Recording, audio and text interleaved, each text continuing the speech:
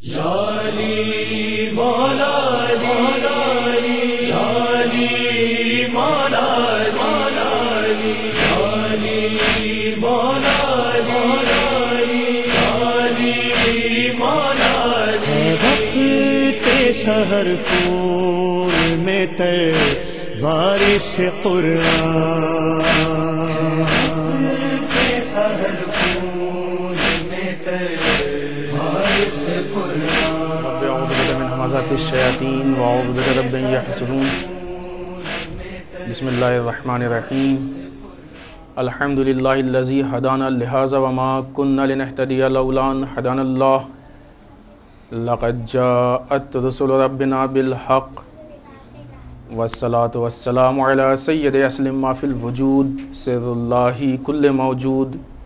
نقطة دائرة الوجود. صاحب لواء الحمد والمقام المحمود.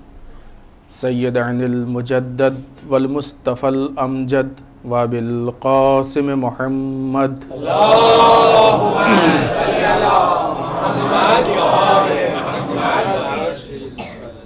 والصلاة والسلام على آله الطيبين الطاهرين المعصومين المظلومين. ولعنة الدائمة الباقية على أعدائهم أجمعين. من الله إلى قيام يوم الدين. أما بعد فقد قال الحكيم بسم الله الرحمن الرحيم ألف لام ميم ذلك الكتاب لا ريب فيه هدى للمتقين صلوات على محمد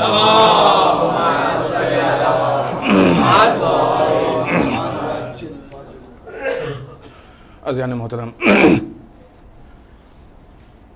شب قدر اور ساتھ میں شب ضربت۔ خدا بند مطال کا لاکھ لاکھ شکر ہے کہ اس نے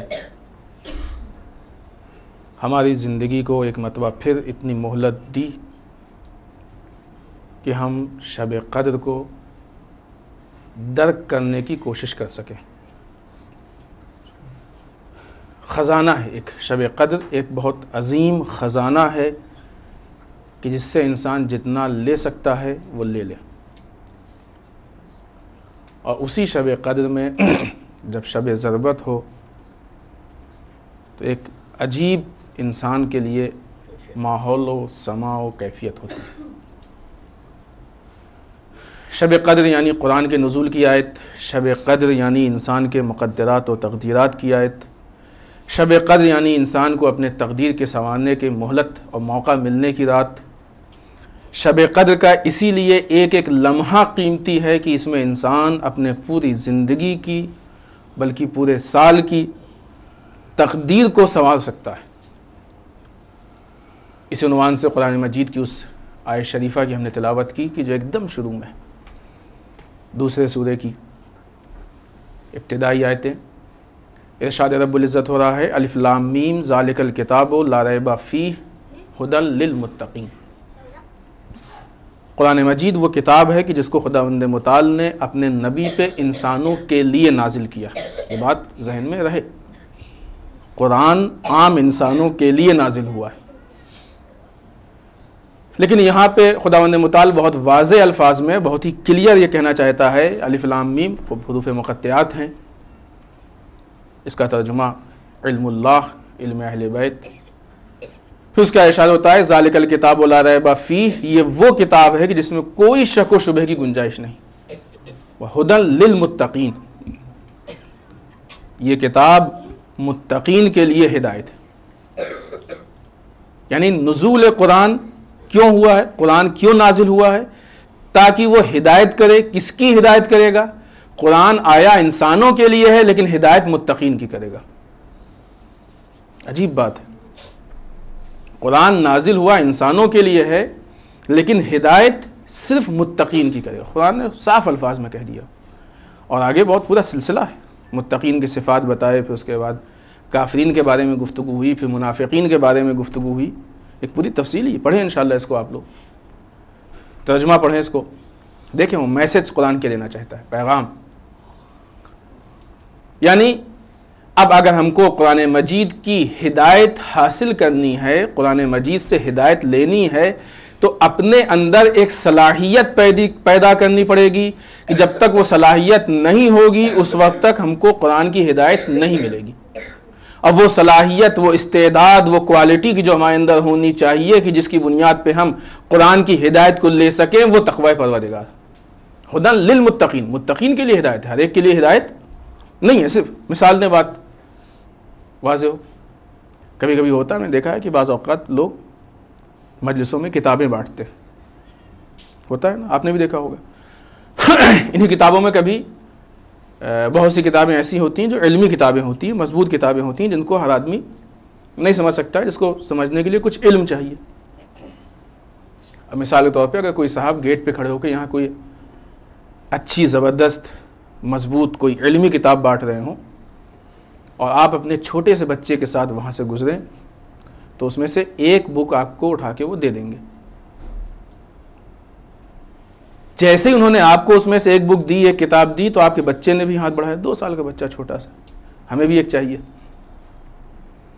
تو وہ دیں گے ان کو؟ نہیں دیں گے۔ دینا بھی نہیں چاہیے۔ کیونکہ کتاب ہے، بچوں کا کھلونا نہیں ہے۔ دینا کیوں نہیں دینا چاہیے؟ اس لیے کہ جس کو دے رہے ہیں، اس میں صلاحیت ہے کہ اس کو پڑھ کے سمجھ سکے۔ جس میں صلاحیت ہے، وہ ہاتھ بڑھائے گا بھی تب بھی اس کو نہیں ملنے والی۔ ہم صبح سے شام تک لاکھ کہتے رہیں، پالنے والے ہدایت کر دے، پالنے والے ہدایت کر دے، پالنے والے ہدایت کر دے، پالنے والے یہ دے دے، پالنے والے وہ دے دے۔ یہ ویسے ہی ہے کہ ہاتھ تو بڑھا ہوا ہے، صلاحیت نہیں پائی جا رہی۔ صلاحیت پیدا کریں۔ صلاحیت پیدا کرنے کے بعد پھر اگر آپ کے اندر صلاحیت ہے، اگر آپ ہاتھ نہیں بھی بڑھائیں گے تو وہ خود آپ کی طرف بڑھائیں گے کہ لیجیے آپ اس کے مستحق اگر صلاحیت پیدا ہو جائے گی تو اب خدا بندے مطال سے مانگے یا نہ مانگے، خدا اپنے بندے کو اس لائق محسوس کرے گا تو خود ہدایت دے گا۔ یہی وجہ تھی کہ جب رسول نے قول لا الہ الا اللہ تفلحو کی آواز بلند کی، جن میں صلاحیت نہیں تھی وہ مکے میں رہ کے بھی ہدایت نہیں پا پائے، جن میں صلاحیت تھی وہ سلمان فارس سے بھی آگے ہدایت پا گئے۔ صلاحیت تھی کہ نہیں؟ صلاحیت پیدا کر۔ جمعے کے خطبے کے لیے حکم ہے کہ جمعے کے خطبے میں تقوی پروردگار کی طرف دعوت دی جائے۔ ایک ہفتے، دو ہفتے، ایک مہینے، دو مہینے، سال، دو سال، دس سال۔ کب تک تقوی پروردگار کی طرف پالنے والے؟ ریپیٹ کیوں اتنا ریپیٹ کرا رہا؟ کہ اسی لیے تو ریپیٹ کرا رہے قرآن کتاب ہدایت ہے۔ جب تک قرآن سے ہمارا بندہ متمسک نہیں ہوگا، قرآن سے نہیں جڑے گا، اس وقت تک ہدایت نہیں ملے گی۔ اور قرآن سے ہدایت لینے کی شرط ہی تقوی ہے۔ یہاں سے تقوی لے کے جاؤ، وہاں سے ہدایت لیتے جاؤ۔ آج کی یہ شب اسی کی شب ہے۔ قرآن کیوں نازل ہوا ہے؟ قرآن اسی لیے تو نازل ہوا ہے کہ ہم قرآن کے ذریعے سے ہدایت حاصل کریں۔ اور ہدایت حاصل کرنے کے لیے قرآن مجید نے واضح الفاظ میں ہم سے کہہ دیا کہ جب تک تمہارے پاس تقوی پروردگار نہیں ہوگا، اس وقت تک ہم تم کو ہدایت نہیں دیں گے۔ اب انسان اگر بغیر تقوی کے ہدایت لینا چاہتا ہے، تو ہدایت اس کو قرآن کے علاوہ ملے گی۔ اور قرآن کے علاوہ جو چیز ملے، وہ ہدایت جیسی تو ہو سکتی ہے، ہدایت نہیں ہو سکتی۔ مشکلات ابھی تو ہوتی ہیں کبھی کبھی ہم ہدایت سمجھتے ہیں لیکن ہدایت ہوتا نہیں تو اب یہ جب تک انسان کے پاس تقوی پروردگار ہوگا، اس وقت تک اس کو ہدایت ملتی رہے گی۔ اور بعض اوقات انسان اپنی اسی صلاحیت کو، جو یہ کوالٹی ہوتی ہے، اپنے اعمال کی بنیاد پہ کھو دیتا ہے۔ جو ہر جمعے، ہر ہفتے مومنین سے کہا گیا کہ جمعے میں شرکت کرو۔ ایریا معین کیا گیا کہ اتنی دور میں ایک ہی جمعہ ہونا چاہیے، اس سے آج جمعہ نہ ہو۔ سب کو جمع کیا گیا اس کے بعد خطیب سے کہا گیا، امام سے کہا گیا کہ تقوی پروردگار کی بات کرو۔ کیوں؟ اس لیے کہ جس طریقے سے باقی ساری چیزیں انسان میں کوالٹیز کم زیادہ ہوتی رہتی ہیں، ویسے ہی تقوی پروردگار کی کوالٹی بھی ایسی ہے کہ جو انسان کے عمل کی بنیاد پہ کبھی کم ہوتی ہے، کبھی زیادہ ہوتی۔ ہے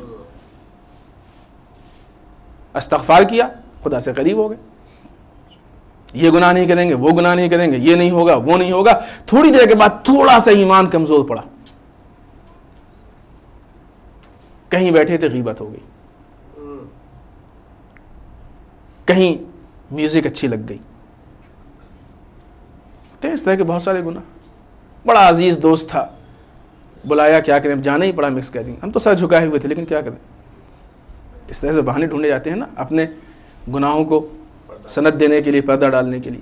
تو سمجھ چکا ہے۔ کیا کہیں بہت اچھا رشتہ دار تھا، بہت نزدیکی تھا۔ اب نہیں جاتے تو برا مان جاتا۔ گئے تو خدا برا مان گیا۔ کسی نہ کسی کو تو برا ماننا ہے، یا خدا کو یا اس کو۔ ابھی چوائس آپ کا ہے کہ کس کو پسند کرتے ہیں کس کو چھوڑتے ہیں۔ تو انسان کی زندگی ہے ایسی۔ اگر یہ اسٹیٹ لائن اسرات مستقیم ہے، تو انسان سرات مستقیم پہ جب چلتا ہے، اگر اپنے نفس پہ مکمل کنٹرول نہیں ہے انسان کو، تو سرات مستقیم سے کبھی ہٹتا جاتا ہے۔ تھوڑی دور چلے گا، پھر ہٹ جائے گا، پھر چلے گا، پھر ہٹ جائے گا۔ یہی وہ مقام ہے کہ جہاں پہ تقوی کبھی کم ہوتا ہے، کبھی زیادہ ہوتا ہے۔ اب جب انسان کا تقوی کم ہو، تو اس وقت اس بات کی ضرورت ہے کہ کوئی ہو کہ جو اس کے تقوی کو پھر سے چارج کر کے اس مقام پہ واپس لیا ہے۔ یہی سسٹم ہدایت ہے۔ اب اسی کو آپ چاہے اہل بیت کی سیرت سے لے لیں، چاہے علماء کی مجلس میں آ کے لے لیں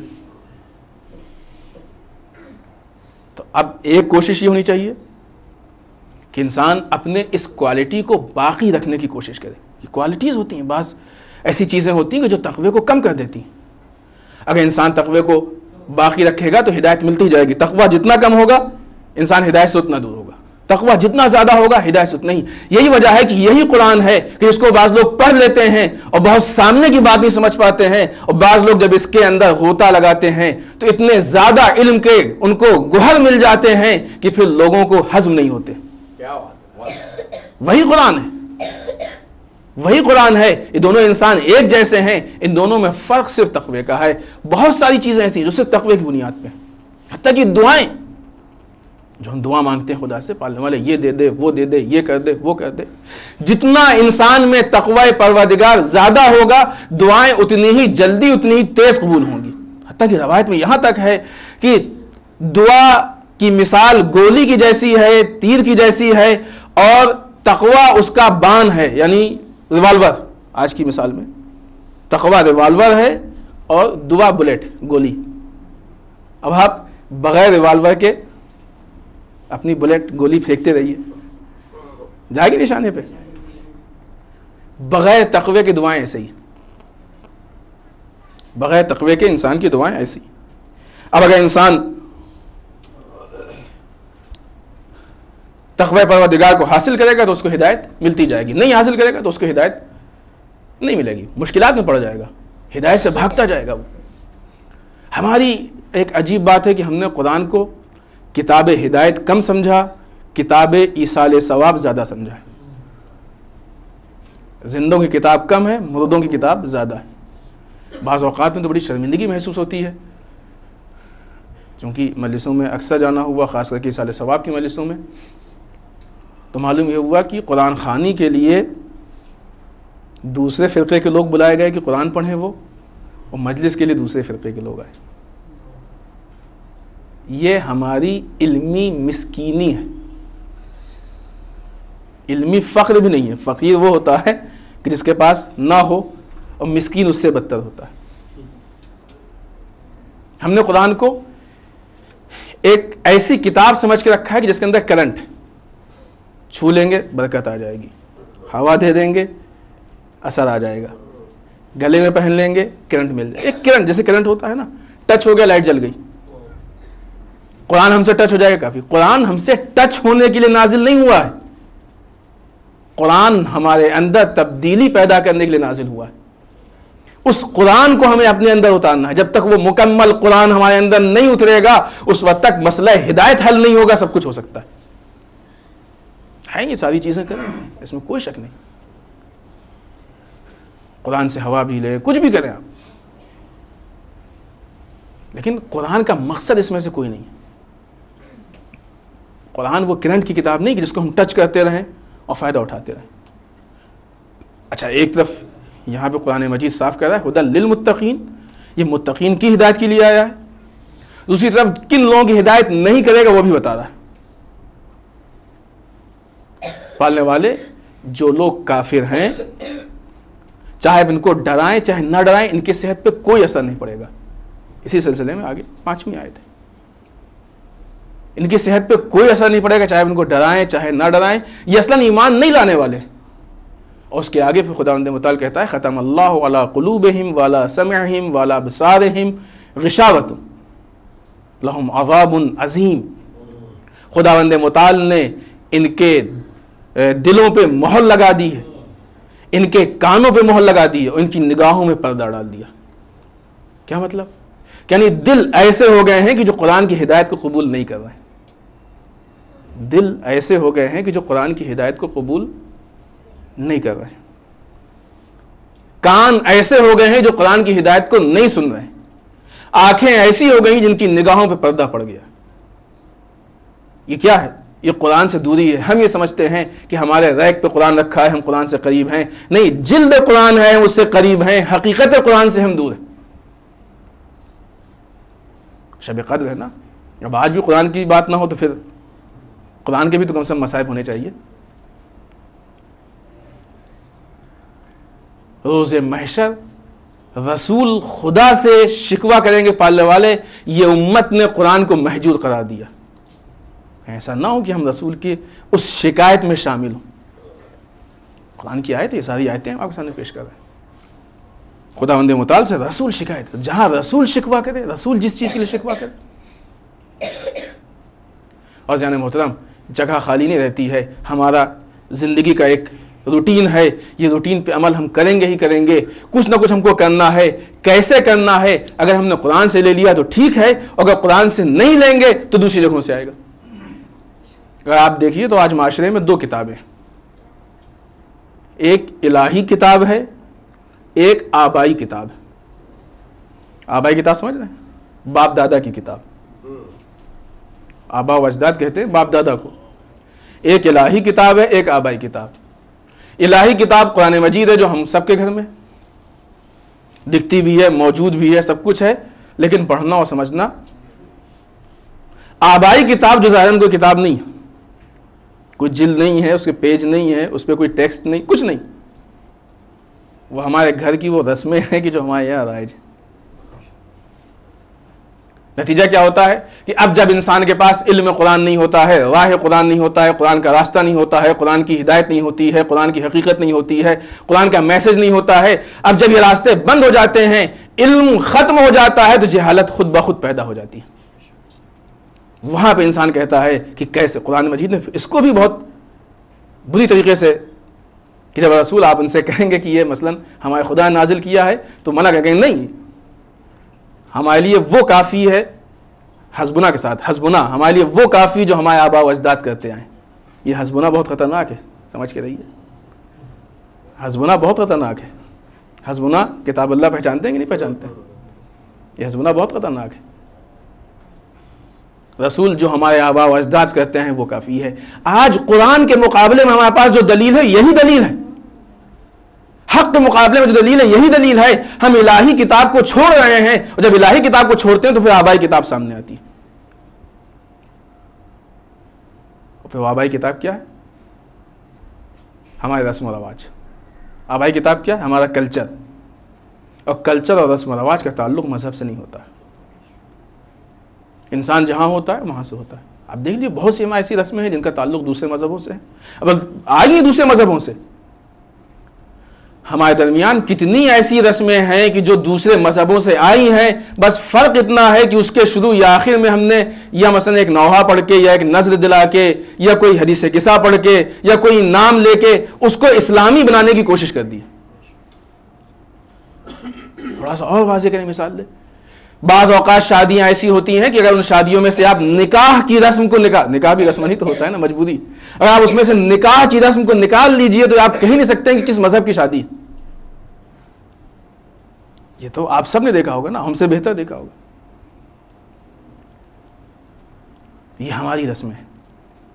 یہ ہماری آبائی کیوں؟ اس لیے کہ قرآن ہم پہ حاکم نہیں ہے۔ قرآن عزیزان محترم، قرآن حکومت قرآنی ہمارے اندر چاہیے۔ ہمارے اوپر قرآن حاکم ہونا چاہیے۔ ہمارا سسٹم قرآن کے سسٹم کے مطابق ہونا چاہیے۔ ہماری زندگی قرآن کے راستے کے مطابق ہونا چاہیے۔ ہمارا راستہ قرآن کے حکم کے مطابق ہونا چاہیے۔ اگر یہ ہے تو انسان مسلمان ہے، نہیں ہے تو پھر انسان کہے گا مسلمان ہے نہیں۔ قرآن مجید نے جو کافروں کی صفات بتائے ہیں، کہیں ایسا نہ ہو خدا نخواستہ ہم ان صفات میں آ جائیں۔ رسول آپ ان کو کچھ بھی کہیے، چاہے ڈرائیں، چاہے نہ ڈرائیں، ان پہ کوئی اثر نہیں پڑنے والا۔ اب اگر قرآن کی تلاوت ہمارے سامنے ہو، قرآن کے احکام بتائے جائیں، قرآن کی تعلیمات بتائے جائیں، اس سے اگر ہم پہ اثر نہ ہو تو کہیں ایسا نہ ہو کہ ہم بھی اس لسٹ میں آ جائیں۔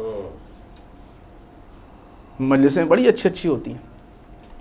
علماء کے بیانات بڑے اچھے اچھے ہوتے ہیں۔ نتیجہ کیا نکلتا ہے؟ بعد میں ایک سرٹیفکیٹ مل جاتا ہے۔ بڑی اچھی مجلس تھی۔ خوب، یہ آپ سے سرٹیفکیٹ لینے نہیں آئے تھے۔ سرٹیفکیٹ کی ضرورت نہیں ہے۔ ضرورت کس بات کی؟ اگر اچھی تھی، وجود میں اترے۔ اور اگر اس کا اثر نہیں ہے، تو قرآن اس کے لیے خود کہہ رہا ہے۔ اور کیوں نہیں ہے اس کا؟ اس کی وجہ بتا رہا ہے قرآن۔ ختم اللہ والا قلوبہم ولا سمعہم ولا ابصارہم۔ ان کے دلوں پہ، ان کے دلوں تک بات تو پہنچ رہی ہے، لیکن دل کے دروازے بند ہیں۔ دل میں ہدایت نہیں داخل ہو سکتی۔ ہے ان باتوں کو سن رہے ہیں، لیکن ختم اللہ والا سمعہم۔ ان کے کانوں پہ خدا نے مہر لگا دیے نہیں سن رہے ہیں، حقیقت نہیں سن رہے ہیں، ہدایت کو نہیں سن رہے ہیں۔ اور ان کی نگاہوں کے سامنے پردے پڑے ہوئے دیکھ رہے ہیں لیکن حقیقت نہیں دیکھ رہے دو کتابیں مظلوم ہیں۔ ایک قرآن مظلوم ہے اور ایک نہج البلاغہ مظلوم ہے۔ دونوں میں تھوڑا سا فرق ہے۔ قرآن تو کم سے کم تلاوت کی حد تک، ہے؟ اصال ثواب کی حد تک تو کھلتا ہی ہے کہ مثلا اگر ایک سورہ اور ایک صفحہ، ایک پیج ہم پڑھ دیں گے تو ہمارے مضموم کو ثواب مل جائے گا۔ لیکن نحج البلاغہ کے لیے تو کوئی ایسا نہیں ہے نا کہ مطلب ایک خطبہ پڑھ دیں گے تو ثواب پہنچ جائے گا اصال ثواب۔ کبھی دیکھا آپ نے؟ اصال ثواب کے لیے نحج البلاغہ پڑھ دو۔ قرآن تو آدمی جب گھر سے نکلتا ہے تو سر کے اوپر بھی۔ نحج البلاغہ کبھی دیکھا ہے؟ ہوا بھی نہیں لیتے اس سے، قرآن سے تو ہوا لیتے۔ قرآن تو تعویذ کی شکل میں بھی آ گیا۔ نحج البلاغہ تعویذ کی شکل میں نہیں ہے۔ کس کے لیے نحج البلاغہ ہے؟ کسی اور قوم کے لیے؟ کسی اور عالم کے لیے؟ کسی اور زندگی کے لیے؟ ہمارے لیے۔ یہ شب وہ شب ہے کہ جس کا تعلق دونوں سے ہے، قرآن سے بھی نحج البلاغہ سے بھی۔ قرآن وہ ہے کہ جس میں احکام الہی، شریعت پروردگار، حکمت پروردگار ہے نحج البلاغہ وہ ہے جس میں حکمت علوی۔ دونوں چیزیں جب تک ہمارے درمیان نہیں ہوں گی، عزیزان محترم، یہ شب بہت سارے سوالات کے ساتھ ہمارے درمیان آئی ہے۔ ابھی جس قرآن کو ہم سامنے کھولیں گے خدا بند متعلق اس کا واسطہ دیں گے کہ پالنے والے، تجھے اس قرآن کا واسطہ، تو مطلب ہو سکتا ہے قرآن ہم سے سوال کرتا ہو کہ جس کا واسطہ دے رہے اسے پہچانتے بھی ہو ہم سر پہ رکھیں گے، پالنے والے تجھے اس قرآن کا واسطہ، شاید قرآن سوال کر لے کہ تم آج جلد کا سایہ کیے ہو، حقیقت قرآن کا بھی سایہ کبھی کر لو؟ صرف جلد کے سائے سے فائدہ نہیں ہونے والا، جلد کا جلد کا سایہ تو کافر بھی کر سکتا ہے، منافق بھی کر سکتا ہے۔ حقیقت قرآن کا سایہ صرف مومن کرتا ہے، صرف مسلمان کرتا ہے، بس۔ صرف علی والے کرتے ہیں، صرف اہل بیت والے کرتے ہیں۔ پھر دوسرے رہ سے دیکھیں آپ وہیں بھی ہم بے محمد بے علی بے فاطمتا بالحسن سارے واسطے دیں گے کہ نہیں دیں گے؟ کس بنیاد پہ؟ کس کو کتنا پہچانتے ہیں؟ اگر ایک دم ڈائریکٹ بات ہونے لگے اور یہ شخصیات ہم سے کھڑے ہو کے پوچھ لیں کہ تم ہم کو پہچان، بغیر پہچانے کوئی کسی کا واسطہ دیتا ہے؟ آپ سڑک پہ کسی چلتے ہوئے آدمی کو پکڑ کے واسطہ دیتے ہیں کبھی؟ واسطہ دینے کے لیے کچھ تو پہچاننے کی ضرورت ہے۔ کچھ تو معرفت کی ضرورت ہے۔ بغیر معرفت کے انسان بغیر پہچان کے واسطہ نہیں دیتا ہے۔ اتنے سارے واسطے پہچانتے کسی کو نہیں۔ انسان کی فکر ہے کہ نہیں؟ ہمارے روٹین میں شامل ہونا چاہیے کہ ہمارا کوئی دن ایسا ہو ہی نہ کہ جو بغیر تلاوت کلام مجید کے شروع ہو اور بغیر قرآن کو سمجھے ہوئے۔ تلاوت بھی رسمی نہیں، ترجمے کے ساتھ۔ ہے اگلا اسٹیپ تفسیر کا۔ کیونکہ بغیر سمجھے پہ رسم ہے۔ علوم قرآن کو سمجھے، حکم قرآن کو سمجھیں ساری مشکلات ہوئی اسی لیے ہیں کہ لوگوں نے قرآن کی جلد کو پہچانا، قرآن کی حقیقت کو نہیں پہچانا۔ جس وقت مولا کائنات کے سامنے آنے والے دشمن نے نیزوں پہ قرآن کی جلد بلند کی تھی، جو لوگ قرآن کی حقیقت کو پہچانتے تھے، وہ علی کے ساتھ رہے۔ جو قرآن کی صرف جلد کو پہچانتے تھے، وہ بھڑک گئے۔ جلد اور حقیقت کے پہچاننے میں یہی فرق ہوتا ہے۔ اگر انسان صرف جلد کو پہچانے تک رہے گا تو نیزے پہ جلد دیکھے گا اور بہک جائے گا۔ لیکن جب انسان حقیقت کو پہچانے گا تو اس کو معلوم ہے کہ حقیقی قرآن یہاں کھڑا ہے۔ چونکہ ان لوگوں نے صرف جلد قرآن کو پہچانا تھا نتیجہ یہ ہوا کہ علی کے مقابلے میں آ گئے کہ علی جنگ روک لو ورنہ ہماری تمہاری جنگ ہو جائے گی۔ قرآن بہت بابرکت ہے۔ گھر میں ہوگا تو برکت ہوگی سب کچھ ہوگی۔ لیکن اگر معرفت قرآن نہیں ہوگی، قرآن کے معرف نہیں ہوں گے، تو انسان کو اتنا ریئیکشن بھی کر سکتا ہے کہ انسان اپنے وقت کے امام کے مقابلے میں آ جائے۔ اپنے امام کے ظہور کی بہت دعا کرتے ہیں نا۔ کس شکل میں جائیں گے؟ اگر وہاں بھی کوئی نیزے والا واقعہ آ گیا تو؟ کہیں نیزے پہ قرآن بلند ہو گیا تو؟ کدھر رہیں گے ہم؟ ادھر یا ادھر؟ وہاں بھی کوئی ایسا امتحان ہو گیا تو؟ یہ باتیں صرف سننے کی نہیں ہے عمل کرنے کی۔ آپ دیکھیے مولا کائنات کے دشمن دو طرح کے تھے۔ مولا کائنات کی سیرت کو آپ دیکھیے مولا کائنات کے دشمن دو طرح کے تھے۔ ایک وہ دشمن تھے کہ جنہوں نے حکومت علوی کے لیے رکاوٹ پیدا کی، اور ایک وہ دشمن تھے اور آج بھی ہیں جنہوں نے حکمت علوی کے لیے رکاوٹ پیدا کی۔ حکمت سمجھتے ہیں، حکمت کہتے ہیں ان قوانین، ان رولز کو کہ جس پہ انسان بہترین زندگی گزارے اور اس کی ساری چیزیں مہیا۔ اسی لیے نجل اللاغا میں جو تین چیزیں ہیں، پہلے جس کا پہلے پارٹ کا نام خطبات ہے، دوسرے لیٹرز ہیں اور تیسرے حکمت ہے۔ مولا کے حکم، حکمتیں۔ وہ رولز ہیں، وہ قوانین ہیں کہ جن پہ ہم زندگی، چھوٹے چھوٹے، ایک ایک لائن کے، دو دو لائن کے۔ اگر خطبے بہت لمبے ہیں اور ہمارا دل نہیں لگتا ہے، ہم کو مزہ نہیں آیا یہ بھی تو ایک بڑا مسئلہ ہوتا ہے نا مزہ نہیں آیا۔ چٹپٹا نہیں تھا مسئلہ۔ اگر مزہ نہیں آتا، اتنا حوصلہ نہیں ہے، تو اس ایک لائن، دو لائن کا تو حوصلہ ہے۔ چھوٹے چھوٹے میسج یہ تو بہت آسانی سے یاد بھی ہو سکتے ہیں۔ کہ روز محشر، اگر رسول قرآن کو لے کے شکوا کریں، تو علی نجل بلاغا کو لے کے ہی نہ شکوا کریں۔ پھر علی جس کی شکایت کر دے، رسول جس کی شکایت کر دے۔ قرآن اس لیے نہیں ہے کہ سال میں ایک مرتبہ، دو مرتبہ، تین مرتبہ جمع ہو کے ہم قرآن کو سر پہ رکھے اور سامنے کھولیں، اس کا اعمال کریں اس کے توسط سے اپنی دعاؤں کو مانگ لیں۔ قرآن کو لے کے خدا کے سامنے اپنی حاجتوں کو رکھ دیں۔ بیمار کو پانی پلا دیں، ہوا دے دیں، مسافر کے سر پہ رکھ دیں۔ قرآن کی برکتیں ہونا الگ ہے، قرآن کا مقصد ہونا الگ ہے۔ چونکہ ایک خاص عادت ہے کہ ہر چیز ایک دم ظاہر سے ٹچ ہو کے گزر جاتی ہے، حقیقت تک نہیں اترتی ہے، لہٰذا اس چیز کا سمجھنا ہمارے لیے مشکل ہوتا ہے۔ مولا کائنات کے لیے ہم نے آپ کے سامنے پیش کیا۔ دو چیزیں ہیں مولا کی۔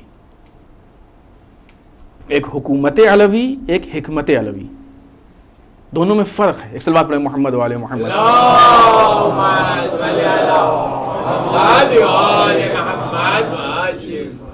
دونوں میں فرق ہے۔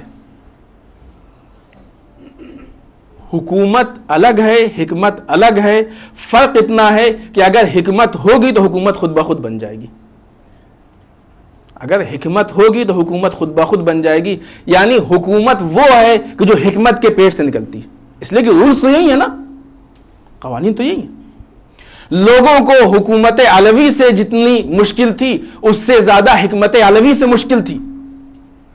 دشمن سمجھ رہا تھا۔ یہی وجہ ہے کہ جب علی زندہ تھے، اس وقت جہاں اگر حکومت کے لیے روکا گیا، وہیں حکمت کے لیے بھی روکا گیا۔ دیکھو، ان کے پاس مت جانا۔ صاف صاف صاف بھی نہیں کہا گیا۔ اور یہ چیز تو شروع سے۔ رسول نے اسلام کی دعوت دی۔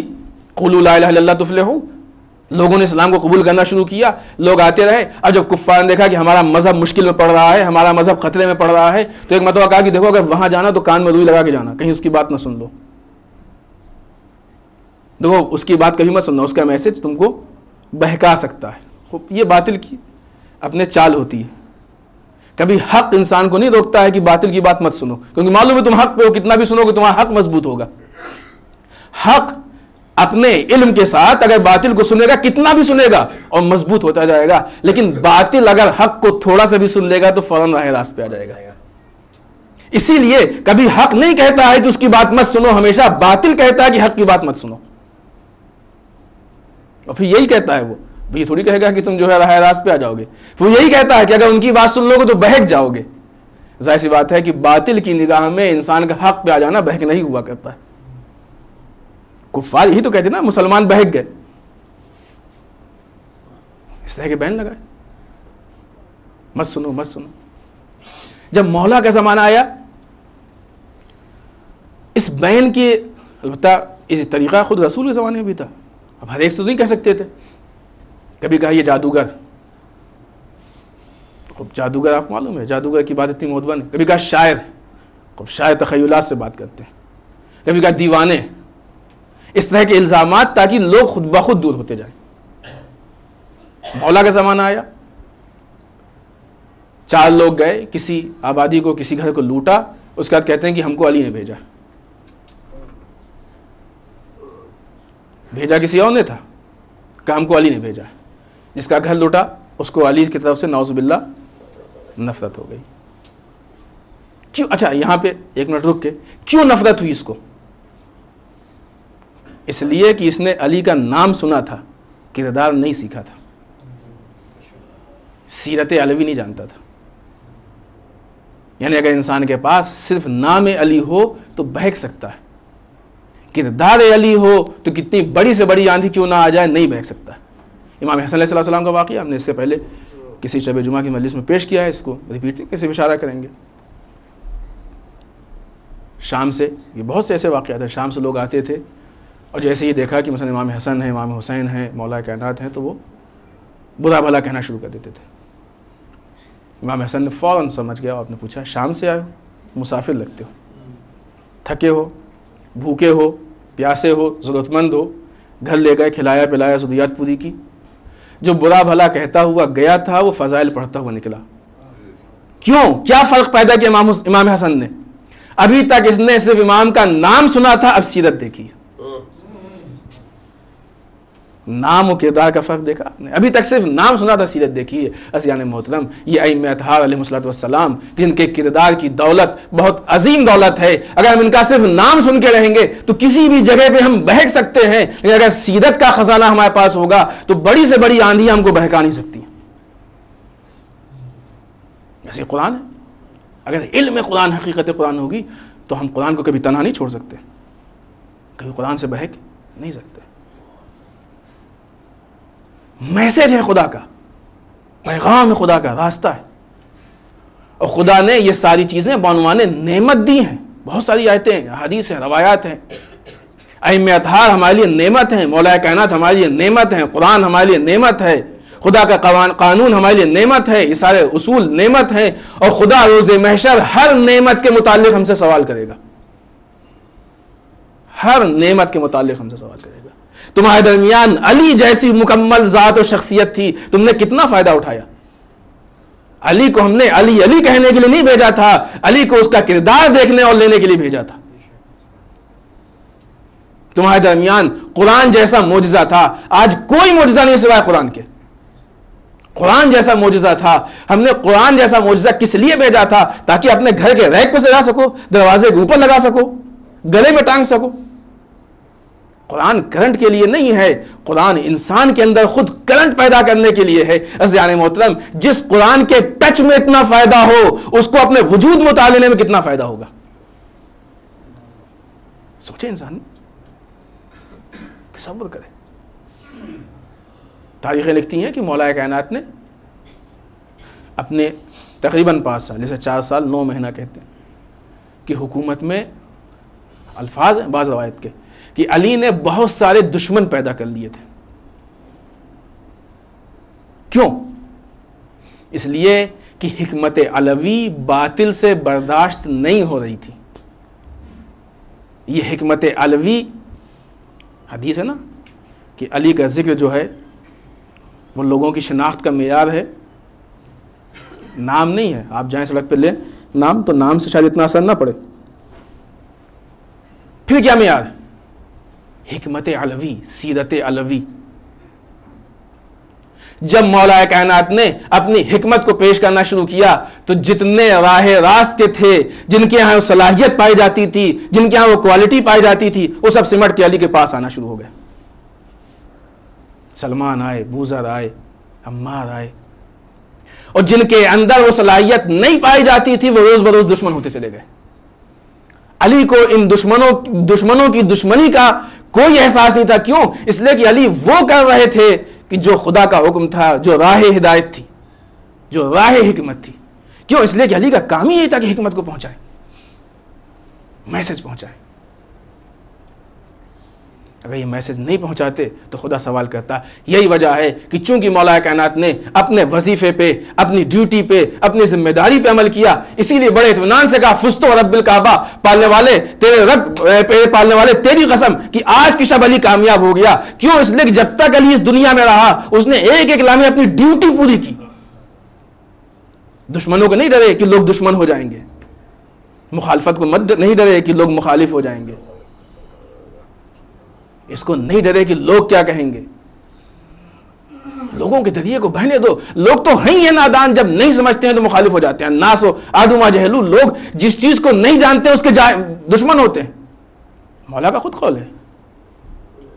آدمی جس چیز سے جاہل ہوتا ہے، اس کا دشمن ہوتا ہے۔ لوگ نہیں جانتے ہیں، علی کو نہیں پہچانتے ہیں، اس لیے دشمن ہیں۔ جس دن پہچان لیں گے، ان سے بڑا دوست کو نہیں ہوگا۔ بس ہمارا وقت ختم ہو رہا ہے، انشاءاللہ۔ آگے کی گفتگو میں اس کو ہم کنٹینیو کریں گے۔ یہی حکمت علوی۔ حکومت علوی کے لیے تو بہت سارے مسائل پیدا کیے گئے۔ جنگوں کے حالات بنائے گئے۔ مولانا اپنی زندگی میں رسول کے بعد تین جنگیں لڑیں۔ چوتھی جنگ کے حالات تھے لیکن نہیں ہو پائے۔ انصار و اصحاب نے ساتھ نہیں دیا۔ وہ مشکلات حکومت کے لیے پیدا کی گئی تھی۔ لیکن حکمت علوی کو لوگ روک نہیں پائے۔ لوگوں کو روکنا چاہا، لوگوں کو بھڑکانا چاہا، بہکانا چاہا۔ لیکن علی کی حکمت روز بروز لوگوں کے درمیان پھیل رہی تھی۔ نتیجہ یہ ہوا کہ پھر یہ فیصلہ کیا گیا کہ اب اس کا ایک ہی راستہ ہے کہ علی کو شہید کر دیا جائے۔ عزیزوں، آج کی شب وہی قیامت کی شب ہے۔ مصائب کے لیے صرف احساس کافی ہوتا ہے۔ بغیر معرفت کے انسان نہیں روتا ہے۔ جب آپ سڑک پہ ایک لاش دیکھیے گا، آپ کو ہو سکتا ہے رونا نہ آئے، لیکن خدا نخواستہ کوئی اپنے گھر پہنچے اور وہاں اپنے گھر میں کسی کی جنازہ ہو تو انسان پھوٹ پھوٹ کے روتا ہے۔ کیوں؟ وہاں کیوں نہیں روئے؟ یہاں کیوں روئے؟ بعض لوگ سوال کرتے ہیں نا کہ مولانا مصائب میں آنسو نہیں آتے۔ کیا وجہ ہے اس کی؟ کوئی طریقہ بتائیں کہ مصائب میں آنسو آئیں کوئی طریقہ، کوئی دعا نہیں ہے اس کے لیے، کوئی طریقہ نہیں ہے، صرف ایک ہی راستہ ہے۔ معرفت پیدا کریں۔ سڑک والے پہ اس لیے نہیں روئے تھے کہ اس کو پہچانا نہیں تھا، گھر والے پہ اس لیے روئے کہ اس کو پہچانتے ہیں۔ ہم جتنا علی کو پہچانتے ہوں گے، بس اتنا ہی احساس کافی ہوگا۔ قیامت کی شب آج کی شب عزیزوں، صرف حسنین کی یتیمی کی شب نہیں ہے، صرف زینب ام کلثوم کی یتیمی کی شب نہیں ہے، پوری امت مسلمہ کی یتیمی کی شب۔ پوری امت یتیم ہوئی آج کی شب۔ علی ایک عجیب کیفیت میں ہے۔ تاریخ لکھتی ہے کہ مولا پوری رات کبھی اندر سے سہن کبھی سہن سے۔ ایک دن پہلے کی روایت ہے کہ مولا نے جب کھانا چاہا تو دو لقمے اور تین لقمے کھائے۔ کسی نے پوچھا، مولا اتنا کم کیوں؟ کہا، زندگی میں صرف ایک دو دن بچے۔ اس سے زیادہ کیا کھائیں؟ ہم چاہتے ہیں کہ جب خدا کے سامنے جائیں تو پیٹ میں یہ مادی چیزیں، یہ چیزیں زیادہ نہ آج کی رات ہم بڑے آرام سے زیب پیلس کی چھت کے نیچے بیٹھے ہوئے ہاں حمال کریں گے۔ علی کبھی سہن خانہ میں گئے، آسمان کی طرف دیکھا۔ ایک بے چینی استراب یوں لگ رہا ہے کہ کسی بہت بڑی چیز کا انتظار، مولا کس کا انتظار؟ شاید علی پلٹ کے کہیں کہ اس وقت کا انتظار کر رہے ہیں کہ جب لقائے پروردگار کے لیے گھر سے باہر نکلنا پڑے گا۔ لو عزیزوں، سہر کا وقت ہوا۔ علی اپنی بیٹی کا مہمان تھا۔ بیٹی نے سحری کے لیے دسترخوان بچھایا۔ روٹی آئی، نمک آیا اور بیٹی تھی باپ کی محبت میں دودھ کا پیالہ بھی لا کے رکھ دیا۔ پہچانے، علی نے یوں ہی نہیں کہا، فستو رب الکعبہ ایک مرتبہ نگاہیں اٹھائیں تیوریوں بل پڑی بیٹی کیا تم نے آج تک دیکھا کہ تیرے باپ نے ایک ساتھ دو نعمتوں سے فائدہ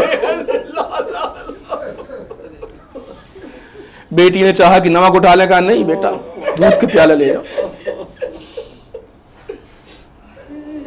لو عزیزوں، وہ وقت آیا کہ جب علی کو گھر سے باہر نکلنا ہے۔ مولا کائنات نے اپنی زندگی میں کئی جگہ اس بات کا اشارہ کیا کہ ہماری آخری شب ہے۔ ان میں سے ایک اشارہ یہ بھی ہے۔ جب آپ گھر سے باہر نکلنا چاہتے ہیں تو آپ کے گھر میں کچھ مرغابیاں بطخ جسے کہتے ہیں، کچھ بطخ پلی ہوئی تھی۔ جب مولا آگے قدم بڑھا رہے ہیں تو ایک مرتبہ وہ بطخ آگے آنے کے بعد اپنی آواز میں کچھ کہنے لگی۔ کسی نے آ کے ان بطخ کو، ان مرغابیوں کو ہکانا چاہا کہ ہٹو علی کو راستہ دو۔ مولا روک دیتے ہیں، نہیں نہیں، ان کو نہ کہو، کچھ نہ کہو۔ یہ علی پہ نوا کر رہی ہیں، علی پہ ماتم کر رہی ہے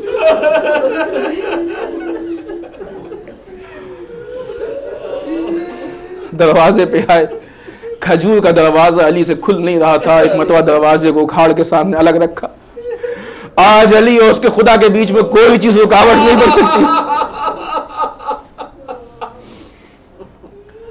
مسجد میں پہنچے۔ ایک مرتبہ گلدستہ آزان پہ گئے۔ آزان کہی تاریخ لکھتی ہے کہ آج کی عجب آزان تھی۔ اتنی بلند آواز میں علی نے آزان کہی کہ پورے کوفے میں علی کی آواز گونج رہی تھی۔ سننے والوں سن لو، اس لیے کہ آج کے بعد ہی علی کی آواز سننے میں نہیں آئے گی۔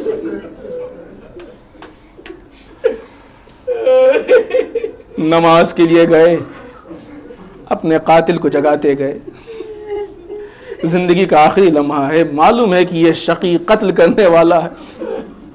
لیکن ولو قتل ہی کی قیمت کیوں نہ چکانی پڑے؟ مگر علی اس کے ادار کا نام ہے کہ جو آخری وقت میں بھی لوگوں کو نماز کی طرف دعوت دے رہا۔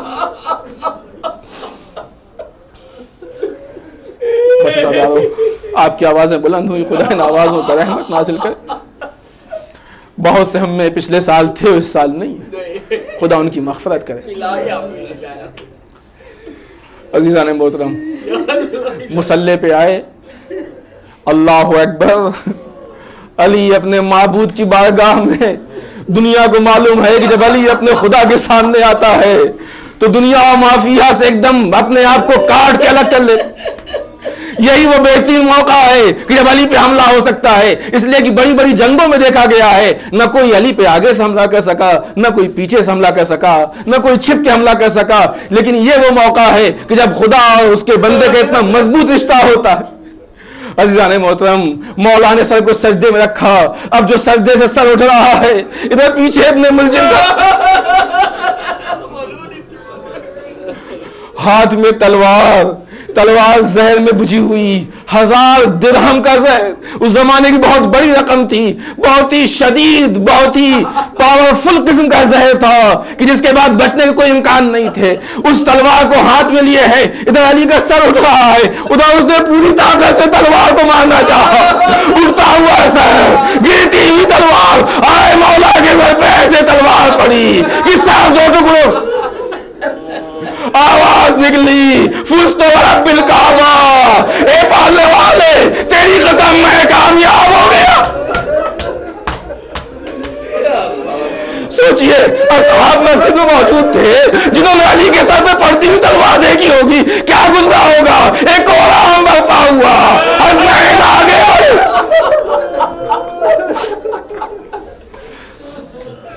سر سے خون بہنا شروع ہوا ایک مرتبہ مسجد کی خاک کو جمع کر کے سر پہ رکھا، خون بہ رہا تھا۔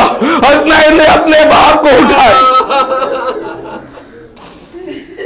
اتنا شدید زخم، زہر آلود زخم۔ جبریل نے آواز دی، ارکان خدا منہدم ہو گئے۔ بس عزیزوں آخری جملے اور آپ کی سہمت تمام۔ ارکان ادا منہدم ہو گئے۔ حسنین نے اپنے باپ کو اٹھایا، لے کے گھر کی طرف بڑھے۔ عزیزان محترم، ابھی تھوڑا ہی آگے بڑھے تھے۔ جب گھر سے نزدیک ہوئے، ایک مرتبہ مولا نے وہیں سے کہا، بیٹا حسن ٹھہرو، بیٹا حسین ٹھہرو ہمارے چاہنے والوں سے کہو کہ ہم خدا حافظ کر کے اپنے گھروں کو واپس جائیں۔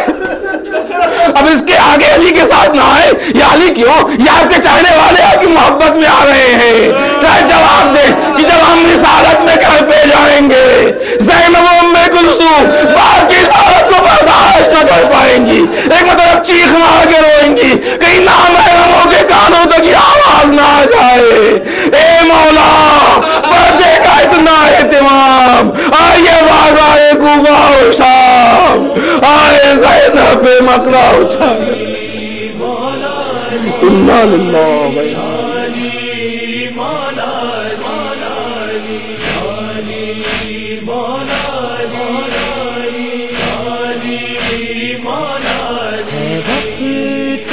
شہر پور میں تر وارث قرآن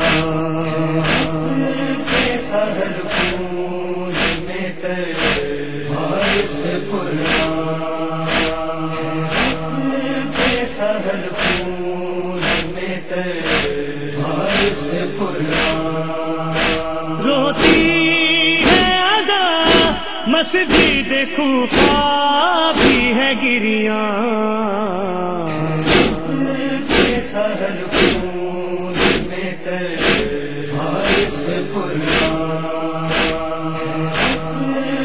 سہل میں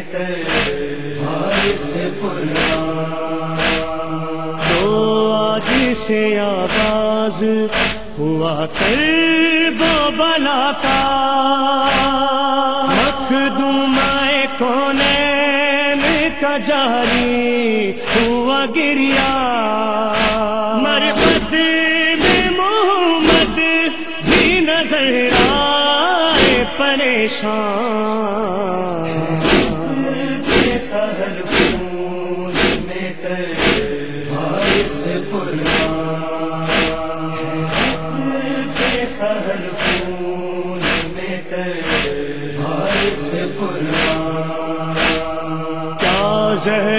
میں ڈوبی ہوئی شمشیر چلی ہے دو زخمی ہوا سجدے میں داماد نبی ہے دنیا سے چلا، دیکھیے کعبے کا نگہبان۔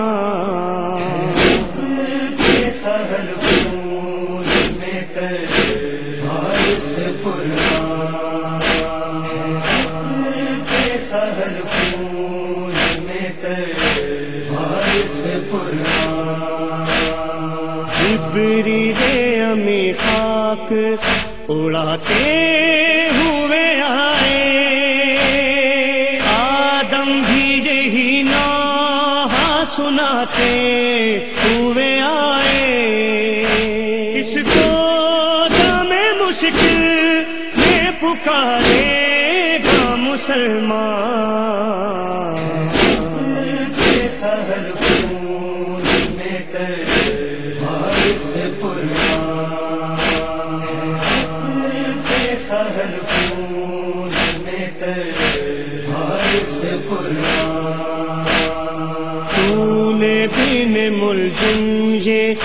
ستم کیسا ہے ڈھایا؟ سجدے میں نمازی کا لہو کیوں ہے بہا؟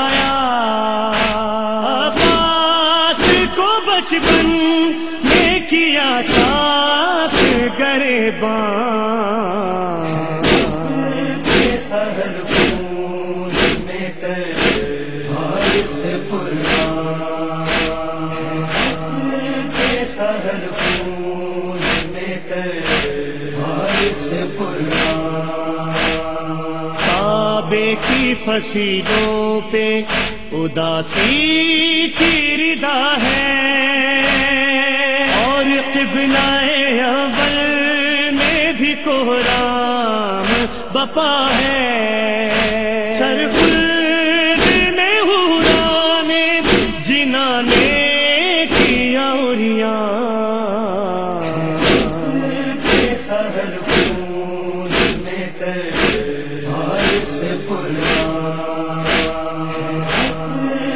سہر خون میں تر فارس پرنا حسنین کے سر پر ہے یتیمی کا اندھیرا۔ رخ ست ہوا سورج کی نگاہوں سے سویرا۔ زمزم میں ڈالا تم ہے تو کوثر۔ ہے طوفان سہر خون میں تر فارس پرنا سہر خون میں تر فارس پرنا ہے رضوان جینا چاک گرے ہے